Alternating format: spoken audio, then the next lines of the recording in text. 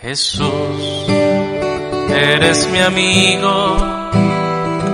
Jesús, quiero vivir contigo. Gracias por salvarme.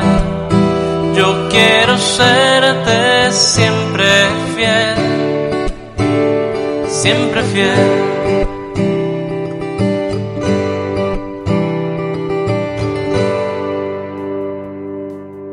Catequesis familiar. Primer nivel de primera comunión. Dios nos abraza y nos perdona.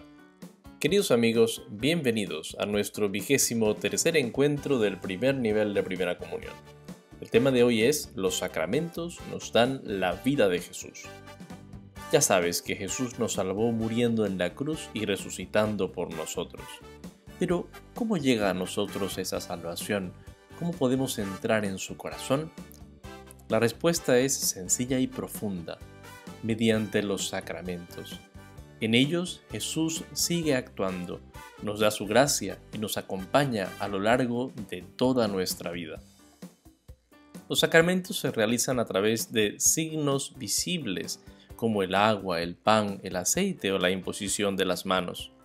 Estos signos van acompañados de palabras importantes que con la fuerza de Jesús realizan lo que significan. Los sacramentos no solo recuerdan la salvación, sino que la realizan, pues en ellos actúa el Espíritu Santo, que hace santo al hombre. Los sacramentos son siete y los veremos a continuación. El bautismo nos perdona el pecado original, nos hace hijos de Dios y miembros de la Iglesia. La confirmación fortalece el don del Espíritu Santo para hacernos testigos de Cristo en el mundo. La Eucaristía, que hace presente el sacrificio de Cristo en la cruz y nos alimenta con el mismo cuerpo de Cristo resucitado.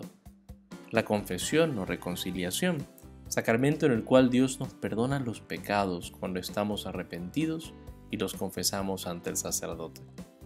La unción de los enfermos, en este sacramento Jesús fortalece y anima a los que sufren en el cuerpo y en el alma, uniéndolos a sus propios sufrimientos en la cruz.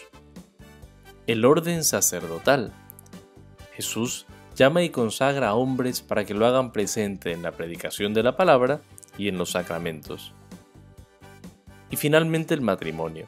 En este sacramento Jesús bendice y une al hombre y la mujer por toda la vida, para darles la misión de la familia. Cada uno de estos sacramentos es muy importante, por eso debemos conocerlos cada vez mejor. Recuerda los siete sacramentos, bautismo, confirmación, Eucaristía, confesión, unción de los enfermos, orden sacerdotal y matrimonio.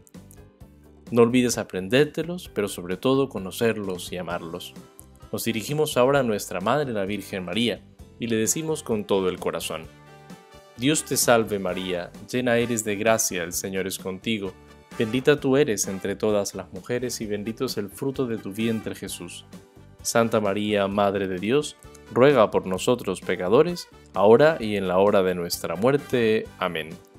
En el nombre del Padre y del Hijo y del Espíritu Santo. Amén. Que Dios los bendiga. Nos vemos la próxima semana.